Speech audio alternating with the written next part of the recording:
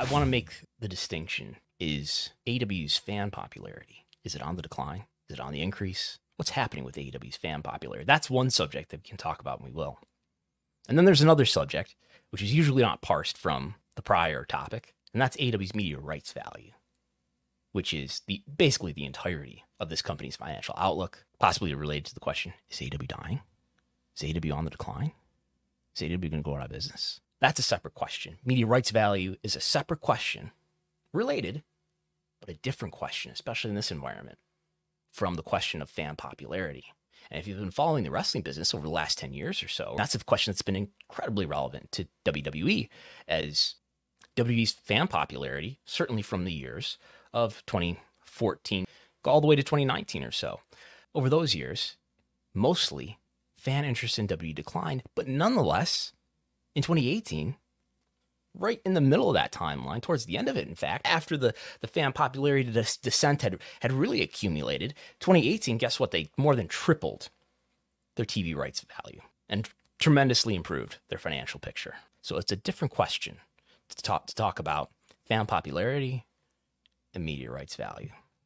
Is fan popularity and fan interest in AEW on the decline? Certainly compared to the fall of 2021, yes. I would argue in comparison to a year ago, yes. There's plenty of evidence we'll, we'll show here to support that. Is the media rights value lower for AEW than it was a year ago? Probably not. Why? Because that's when we're talking about media rights value, that's where we should really look to the rank. What's the ranking of the program that we're trying to talk about here? Dynamite continues to be one of the most watched shows on its day, on its week, in the demo, which is a disproportionately valuable portion of the audience because of ad rates, but because what it indicates about the future of television viewership, because it's a younger demographic and a very old skewing audience. So Dynamite continues to be quite valuable, which encourages the belief that Dynamite will justify a healthy increase in media rights value. Now, Tony Khan seems incredibly confident that not only Dynamite is going to get a, a, huge, huge increase in his words, but Rampage and Collision as well. I see less evidence for to justify that, other than they'll be coming in the package with Dynamite. Is AEW in a good position still to get a strong increase in media rights value? Probably. Is popularity of AEW on the decline? Yes. We, we can see that in not only total viewership on the decline, but demo viewership on the decline year over year. Say what you want about cord cutting and the degree to which that is down. And yes, cord cutting in Q1 is probably down more, more than 2%, probably about 7%.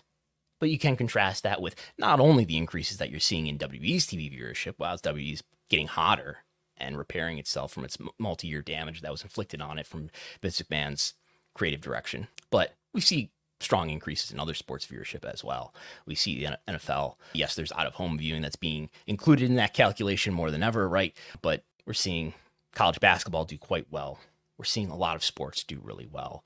And no one has to bring up cord cutting in those conversations. In terms of the year over year picture, if you're watching a video, here's the year over year picture. Every episode so far, year to date, has been at least slightly down from the same week of the prior year. In the demo, it's a little bit more of a mixed bag as the demo is not down as strongly you use that information to look at TV ratings, you can say that's the picture that tells me more than not that interest in AEW is down. But maybe it's cord cutting and we can offset all of those declines, Tony Khan. We can offset all those declines with a cord cutting excuse. Maybe your excuse. But then you look at attendance and attendance continues to decline. Now we've still got thousands of. Yes, we've still got thousands of people in these seats. We've still got more people in these seats than than a TNA could ever put in there at almost any part of, of its history. And that's an impressive feat if we're not comparing it to WWE, which we don't necessarily have to. Nonetheless, year over year, three out of the last four quarters, dynamite attendance on average is down. That's supporting another picture that AEW's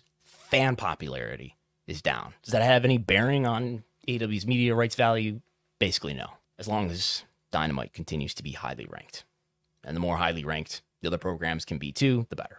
Is interest in AEW down from consumers, the fans? Yes. Is AEW going to go out of business? No.